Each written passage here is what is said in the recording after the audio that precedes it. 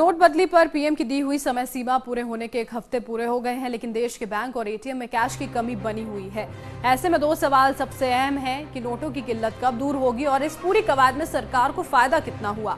State Bank के chief economist Soumya Kanti Ghosh का यह अनुमान है कि नोटों की किल्लत काफ़ी हद तक फरवरी में दूर हो सकती है और इससे सरकार को करीब डेढ़ लाख करोड़ का फ़ायदा भी होगा। सौम्य कांति घोष के मुताबिक बैंकों में वापस आ चुके 500 और 1000 के रद्द नोटों का कुल मूल्य 14 लाख करोड़ से 14 लाख पचास हज़ार करोड़ के बीच हो सकता है। सर्कुलेशन में रहे रद्द नोटों का कुल मूल्य 15 लाख चवालीस हज़ार करोड़ है और इस हिसाब से करीब एक डेढ़ लाख करोड़ रुपए मूल्य के पुराने नोट बैंकों में जमा नहीं हो पाएँगे। इस रकम को सरकार का मुनाफा माना जा सकता है।